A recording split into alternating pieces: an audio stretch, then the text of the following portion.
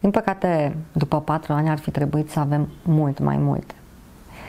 Uh, sau nu neapărat mult mai multe, mai multe, pentru că fiecare țară are un număr de paturi pentru mariaj dimensionat la populația pe care o are. Uh, noi, uh, din fericire, în acest moment am reușit să mai avem 10 paturi în plus. 10 paturi care sunt vitale, spun eu, față de cele 13 care, sunt, care erau funcționale până, până în acest moment. Avem 13 paturi pentru mariaj adulți, plus încă 10, plus 10 paturi pentru mariaj copii. E mult, e puțin, eu cred că nu e suficient. De aceea, proiectele pentru cele patru centre de mariaj sunt extrem de importante. Din fericire sunt demarate și se vor construi și aceste centre, pentru că finanțarea este asigurată de guvern printr-un împrumut Banca Mondială și este important să avem o execuție completă. Dacă ar fi să căutăm motive și vinovați, probabil că am găsit, dar nu cred că este important pentru cei care au nevoie de aceste paturi. În ceea ce privește ceea ce s-a făcut în mandatul meu, pot să spun că a fost un mare pas înainte. În primul rând pentru că s-au finalizat licitațiile pentru dotarea unor unități construite deja și care mai aveau nevoie să fie dotate, în al doilea rând, pentru că proiectele pentru cele patru centre de mariaj sunt uh, uh, deja în fază destul de înaintată, în sensul că procedurile de achiziție pentru uh, proiectul tehnic sunt finalizate. Dacă uh, comisiile care lucrează la aceste uh, comisii, dacă persoanele care lucrează la aceste comisii ar fi fost poate mai uh, aplecate asupra acestor activități, eram mai înaintați. Dar uh, eu sunt mulțumită de cum au decurs lucrurile pe această zonă și vorbesc strict de la preluarea mandatului. Din păcate, cred că aici ar trebui să facem mult mai mult pentru prevenție. Pentru că avem cei mai numeroși mariași. Din păcate. Și am să vă dau un singur exemplu. În luna martie, de exemplu, am avut 75 de persoane cu arsuri.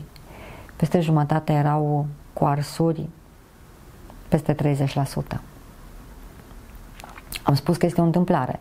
E o lună de primăvară în care oamenii își curăță câmpurile și atunci este cumva uh, explicabil. Dar același mare număr a fost și în lunile mai, și în, lunile, și în luna iulie, și în august, semn că avem aici o problemă. Ce s-a întâmplat cu ei? Au putut fi tratați? O parte au fost tratați în România, o parte au fost transportați în străinătate. Aș mai adăuga în anul acesta încă două paturi care pot să trateze Mareaș la Brașov și acelea s-au făcut datorită unui medic extraordinar, doctorul Grigorescu, care a dorit să demonstreze că se poate. Deci, uh, am uh, făcut toate eforturile ca acești oameni să fie tratați corespunzător. Spuneați că fiecare țară are un uh, număr de paturi pentru Maraș dimensionat la populație. Care ar fi numărul necesar în România, raportat la raportat la populația pe care o avem între 25 și 40 pentru mariași. Deci doar pentru mariași. Nu vorbim de arsurile sub 30%, de exemplu, grad de acoperire.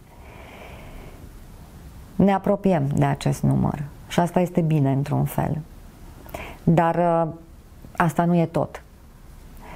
Până la urmă trebuie să ne preocupe starea marelui ars și după perioada post-combustie, adică el are o durată mare de spitalizare, dar urmează o durată mare de recuperare. Anul acesta, pentru prima dată, am majorat acea perioadă de recuperare decontată.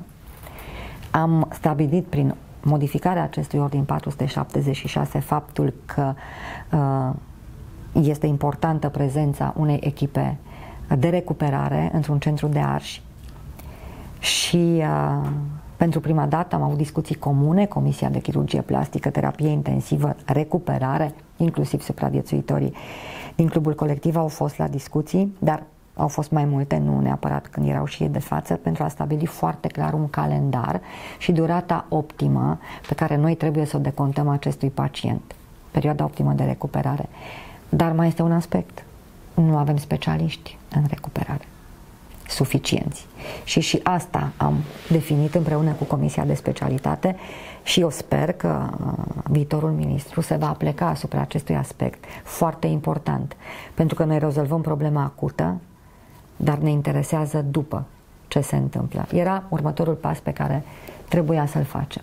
Mai mult decât atât, am modificat împreună cu membrii Asociației Colectiv un act normativ în care am stabilit foarte clar criteriile de transfer și acum când vorbim, am în față ordinul finalizat cu procedurile de transfer a marilor arși în străinătate și discutat tot cu membrii asociației uh, supraviețuitorilor din clubul colectiv.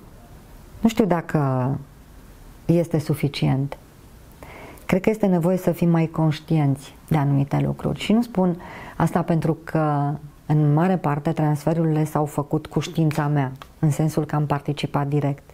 Nu știu dacă Ministrul Sănătății trebuie să fie implicat, dar a fost nevoie și am făcut-o.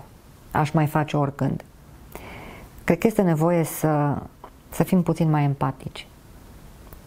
Adică un mare ars, un pacient, în general, nu e doar o foaie de observație. Este un suflet. Și atunci lucrurile un pic se schimbă. Spuneam la un moment dat că avem legislație și nu pe acest domeniu pe care vedeți că am completat-o, uh, pe care din păcate nu o aplicăm în tocmai. Și atunci unde să facem reformă dacă nu știm dacă ceea ce avem merge? Dar uh, să revin la întrebarea inițială, eu cred că s-au făcut pași importanți, nu este suficient. În continuare, dacă, Doamne ferește, am mai avea un episod colectiv, N-am putea trata toți pacienții în România, asta este clar, dar nicio țară din lume n-ar putea. Am evoluat, am recunoaște că nu putem.